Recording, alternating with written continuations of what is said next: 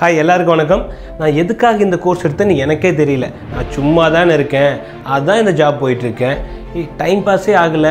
அதான் fun videos பார்த்துட்ருக்கேன் இந்த மாதிரி எந்த ஒரு வேலை பண்ணும்போதும் ஏன் பண்ணுறோம் எதுக்காக பண்ணுறோம்னே தெரியாமல் பண்ணும்போது அதோடைய முழு பலன் நமக்கு கிடைக்காம போகிறதுக்கு வாய்ப்பு இருக்குது நம்ம சமைக்கும்போது உப்பு ஏன் போடுறோன்னே தெரியாமல் உப்பை அள்ளி கொட்டிட்டோன்னு வைங்க.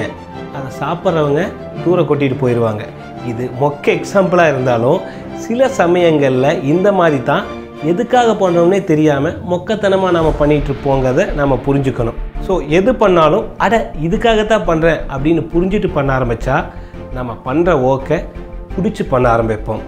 எதுக்காக பண்ணுறோம்னே தெரியாமல் செலவிடக்கூடிய அந்த வினாடிகள் எதுக்குமே பயன்படாத வினாடிகளாக மாறிவிடும். புரிஞ்சு பண்ணுவோம் புதுமையாக பண்ணுவோம். All the best